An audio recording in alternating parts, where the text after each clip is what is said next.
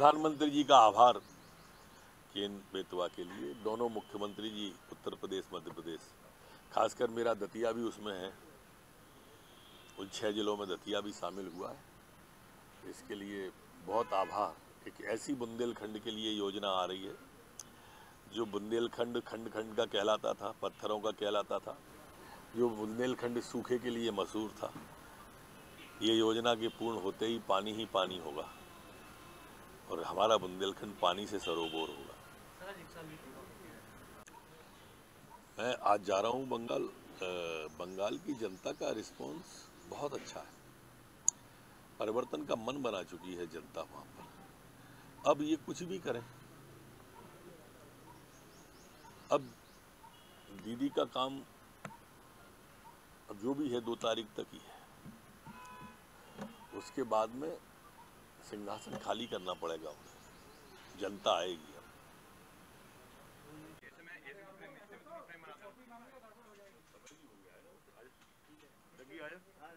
हाँ? वैसे आज क्या है?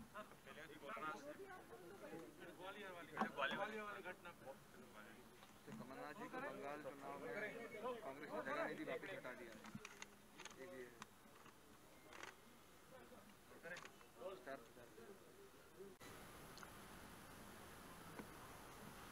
देखो, कमलनाथ जी अब वयोवृद्ध हो गए चुक गए हैं। और राहुल बाबा जो हैं, वो पहले भी उनसे कई बार जब महिलाओं के ऊपर उनकी टिप्पणी आई थी या अभी अभी लेटेस्ट जो गौड़ से भक्त उन्होंने कांग्रेस पार्टी में शामिल किया था तब से केंद्र सरकार, के केंद्र की कांग्रेस पार्टी एआईसीसी का मानना है। और दूसरा, कमलनाथ जी क्यों कहें हम? आप मध्य प्रदेश कांग्रेस की कंगाली देखिए कि मध्य प्रदेश से किसी नेता का नाम नहीं है। पाँच प्रांतों में चुनाव हो रहे हैं। पता नहीं, इसके बावजूद भी लोग क्या सोचते होंगे और कांग्रेस के लोग क्या सोचते हैं कि इनका, जबकि कोई प्रदेश ऐसा नहीं है जहाँ मध्य प्रदेश का भारतीय जनता पार्टी में लोगों ने प्रतिनिधित्व नहीं किया हुआ। तो अकेले कमलनाथ जी नहीं चुके हैं पूरी कांग्रेस चुक चुकी है मध्य प्रदेश में। ये ऐसा हम नहीं कह रहे स्टार प्रचारकों की सूची कह रही है। सर आपका भी दौरा है कल प्रधानमंत्री के साथ बंगाल। आपकी बात का अक्षर से मैं समर्थन करता हूँ कि कोरोना काल में सरकार आई थी। विपरीत परिस्थितियों के बावजूद भी एक साल बेमिसाल रहा। ये साल बेमसाल गरीबों की दृष्टि से था, रोज़गार की दृष्टि से था, नौजवान की दृष्टि से था और महिलाओं की दृष्टि से कोरोना की चुनौती को अवसर में बदला प्रधानमंत्री जी ने, मुख्यमंत्री जी ने।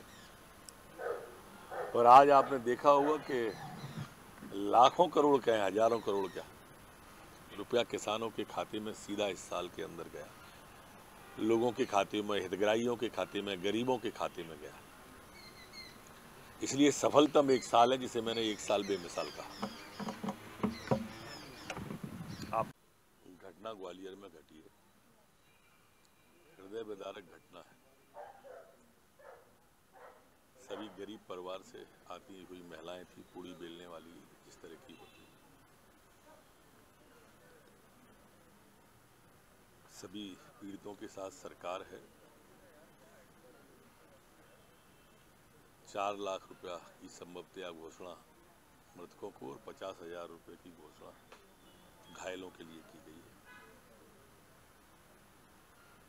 बाकी घटना के पहलुओं की और जाँच कराई जा रही है कि अंधेरे के कारण हुई या और कोई कारण था। उन सब विषयों पे अभी जान है। अभी तो घायलों का उपचार प्राथमिकता है।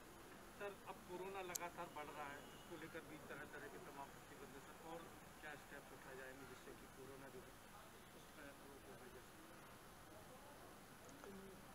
कोरोना सच में बहुत तेज़ी से, खासकर उन जगहों पर जहाँ पहले वो की भयावत आती वहाँ बैक हो रहा है। उनमें से भोपाल और इंदौर दो है, लेकिन इसके साथ साथ बाकी जगह भी उसकी रफ्तार काफ़ी तेज है। महाराष्ट्र से सटे ज़िले जो हैं, उन महाराष्ट्र से सटे जिलों में भी प्रिकॉशन यूज़ किया है। अब इस समय मूल बात जन जागरण की है। जो आज मध्य प्रदेश सरकार कर रही है, मुख्यमंत्री भी जा रहे हैं, मैं भी जा रहा हूँ। सायरन बजा के अलर्ट करना है। कोरोना बम बन के जो लोग घूमते हैं, जिन्हें करोना होता है और पता नहीं रहता है और करोना फैलाते हैं। मास्क का प्रयोग जो नहीं करते हैं, सोशल डिस्टेंसिंग का पालन नहीं करते हैं। इन सबके लिए आज ग्यारह बजे और शाम को सात बजे हमारे सभी मुख्यमंत्री, मंत्री, विधायक, सांसद C S P S collector SP सभी लोग सड़क पर 11 बजे आएँगे। और जागरूकता फैलाएँगे। हम भी इसमें एक गांधीवादी तरीका अपनाने का सोच रहे हैं। हमारे पुलिस के जवान जो मास्क नहीं पहने होगा, उसकी सेल्फी खींचेंगे और अपलोड करेंगे।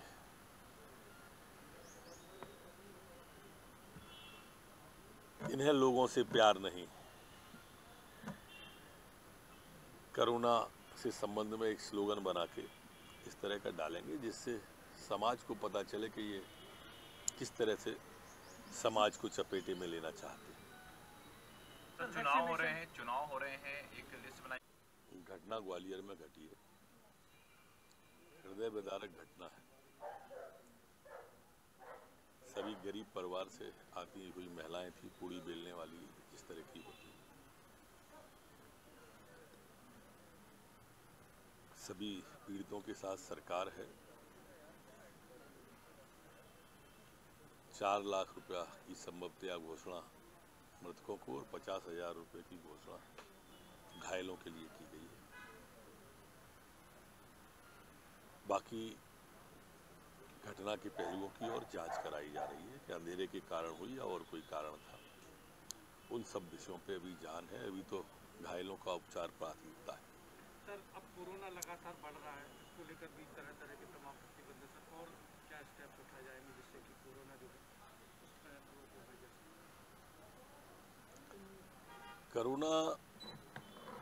सच में बहुत तेज़ी से, खासकर उन जगहों पर जहाँ पहले वो की भयावत आती वहाँ बैक हो रहा है। उनमें से भोपाल और इंदौर दो है, लेकिन इसके साथ साथ बाकी जगह भी उसकी रफ्तार काफ़ी तेज है। महाराष्ट्र से सटे ज़िले जो हैं, उन महाराष्ट्र से सटे जिलों में भी प्रिकॉशन यूज़ किया है। अब इस समय मूल बात जन जागरण की है। जो आज मध्य प्रदेश सरकार कर रही है, मुख्यमंत्री भी जा रहे हैं, मैं भी जा रहा हूँ, सायरन बजा के अलर्ट करना है। कोरोना बम बन के जो लोग घूमते हैं, जिन्हें करोना होता है और पता नहीं रहता है और करोना फैलाते हैं। मास्क का प्रयोग जो नहीं करते हैं, सोशल डिस्टेंसिंग का पालन नहीं करते हैं। इन सबके लिए आज ग्यारह बजे और शाम को सात बजे हमारे सभी मुख्यमंत्री, मंत्री, विधायक, सांसद C S P S collector SP सभी लोग सड़क पर 11 बजे आएँगे। और जागरूकता फैलाएँगे। हम भी इसमें एक गांधीवादी तरीका अपनाने का सोच रहे हैं। हमारे पुलिस के जवान जो मास्क नहीं पहने होगा, उसकी सेल्फी खींचेंगे और अपलोड करेंगे।